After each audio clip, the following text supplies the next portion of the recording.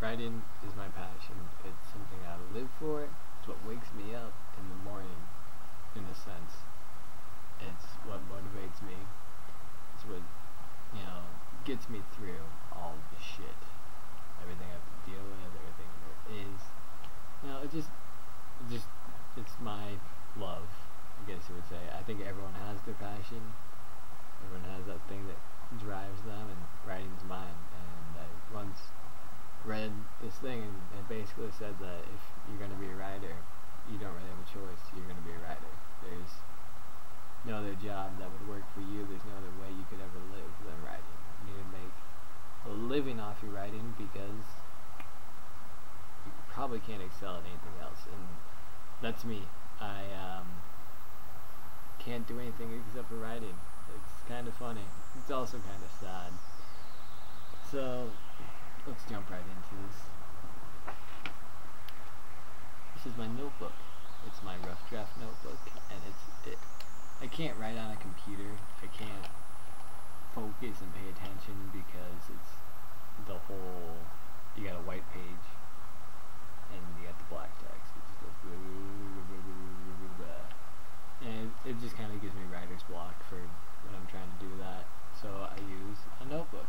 I think actually a lot of people probably do that. And because my handwriting is so horrible, and because I want to look kind of professional, I have this nice little folder right here, my name on it and everything, and it's got all the finished works. Uh, rough drafts, finished work. This is completely finished. I won't put anything in there until I know that I'm satisfied with it. Except for I have two things in there right now because I don't want to lose them that I need to do some work on. Other than that, though, I um much keep that fancy because people will say, "Hey, let me read your writing," and I'll grab my notebook and I'll say, "No, read it out of this.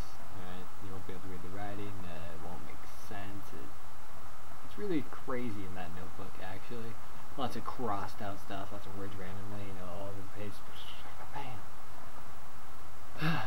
when I got into writing, I believe I was a sophomore.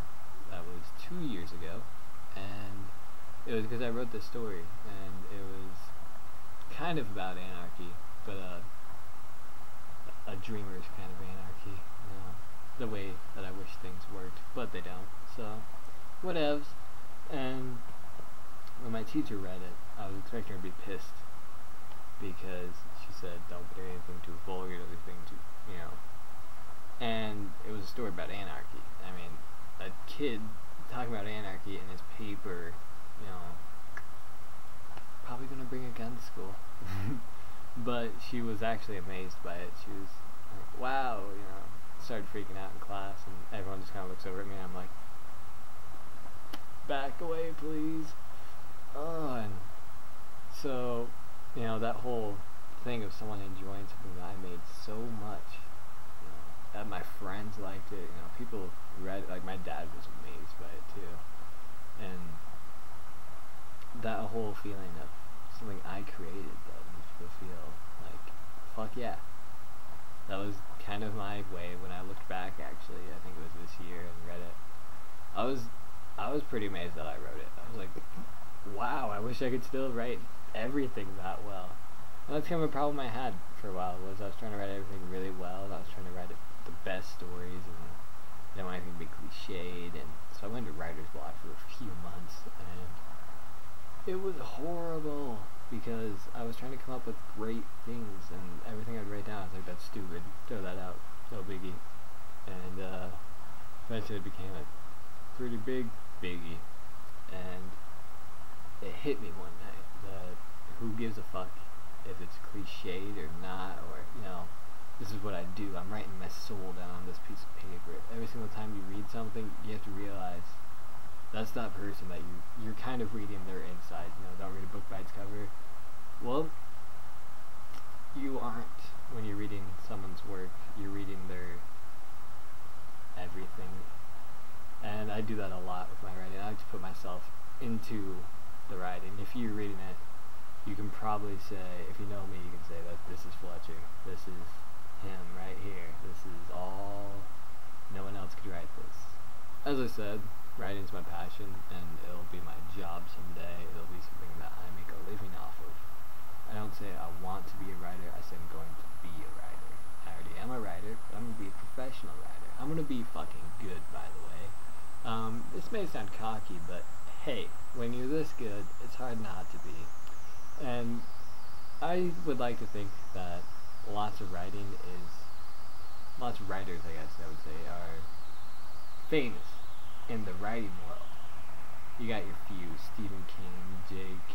Rowling, you know, etc., etc., etc., that are just fucking mainstream. You know, you hear the name, you automatically know what they wrote. And I'm gonna be like that. I'm not just gonna be famous in the community of writers and be fucking up there. I'm gonna change people's views on things. I'm gonna make people smile. I sent an email to somebody who was, you know, critiquing my works, and I said, don't even worry about critiquing this. You know, it's fine as is. Don't, you know. I just sent this to you because I knew it'd make you smile, and that's something I love doing. Um, I had this story about my two fish and everyone that read it, just, you know, they had just had this. They weren't laughing at me or my writing. They were just laughing because they were joy. Like overjoyed. It was like, God, this is, ah, so nice and simple. And I, I like to do that with my writing. I like to keep it simple because you can get a good message across by still making shit simple. You don't have to be all this intricate, giant words and all that to fucking confuse everybody. Shakespeare. And all that type of business. You could you just need to get your message across. That's all you're trying to do. You're just trying to make the story the way you want it. And in your head, I don't think you think with those words. You're trying to be fucking fancy and be all sophisticated. Fuck that. I'm not sophisticated. I'm wearing a plaid shirt, god damn it. There's no way in hell I'm sophisticated. I'm from Nebraska. So I'm being honest, like, when I write. I think that's how a lot of people should be. I really like being amateur writer stuff. You know, people aren't fans of me because I don't really know why I like it. Maybe it's because I can relate to it better. Maybe it's because I like to see the that I'm going to be going up against in the near future. But I, I just love it, and I love writing, and there's seriously probably nothing more that I love more than writing. You sure you got your friends and your family, etc etc. But I mean, doing things like productive and all that, I, I'm I like writing the best. I wish that all my classes in high school were just about writing and helping me excel in that. I went back and read one of my stories from when I was a sophomore, and it's really bad. Like, there's a few good lines in it, but it's just like, man, this is fucking a sophomore wrote this. and I think it's really cool to see the people that saw motive, like saw potential in me, and they're probably still seeing potential in me because I know I'm not fully developed in my writing skills yet, and it's just growing more and more, and it's cool that people noticed it back then, back when it was shit. That's all I've got. Alright, that's my writing. You want to talk to me about my writing? I'll go a lot more in depth with you about it, but it's hard to do this while I'm talking to a camera only. I mean, I've got no one asking me questions about it. I've got nothing like that, you know. It's just me and the computer. So, I'll uh, catch you guys later. I'm not going to tell you what the next video is going to be, because I don't know yet. And I start school on Wednesday. Fuck my life, you know. But I think I'll be making, you know, make more videos, because it'll be like an escape for me.